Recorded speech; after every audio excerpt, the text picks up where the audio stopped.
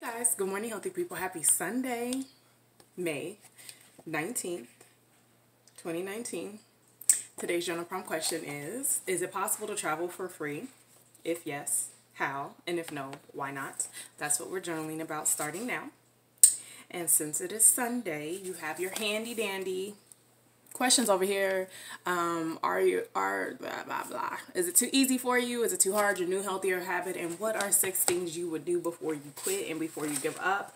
And on the back you have your mandala for you to color. So it's so crazy. So yesterday I was like, I had a lot of things to do, and I feel like I don't know what happened to my yesterday, but I had to revert back to my list of things that I would do before I give up and I did it and I felt better and so sometimes you just have to do that. There's been times where I've done things on my list and it still didn't work and so that's when you have to, you know, use your mental strength and just remind yourself to trust the journey and why you're doing everything that you're doing and this too shall pass. So here we go. We're journaling for approximately two minutes now, starting now.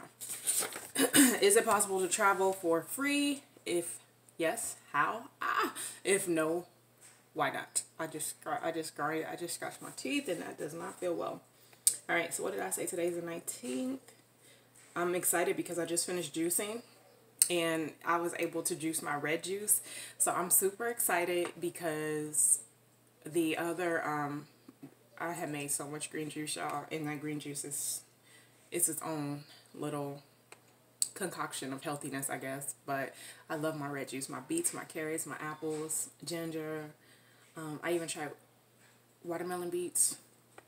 They were the outside is really hard though. It's hard to put it in a juicer.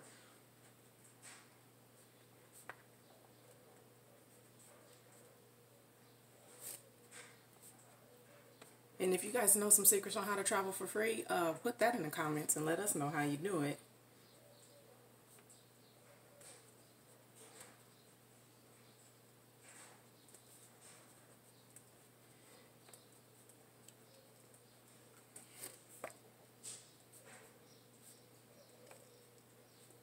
Shaking the whole table, huh? I know I know I have so much energy, which is actually pretty good. It's a good thing. I'll tell you guys more when I come out on the other side of it. For right now, I'm just experimenting, and if it's not a um a fluke, and it's a real thing, then I'll share it with you guys.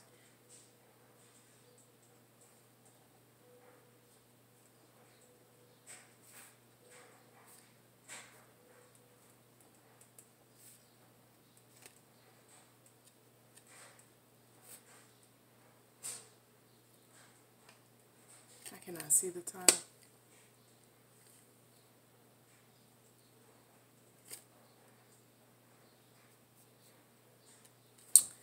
All right, so that's it. Wishing you guys healthier, happier habits. I hope you guys have a great Sunday. The weather in Arizona is beautiful. Have a good one.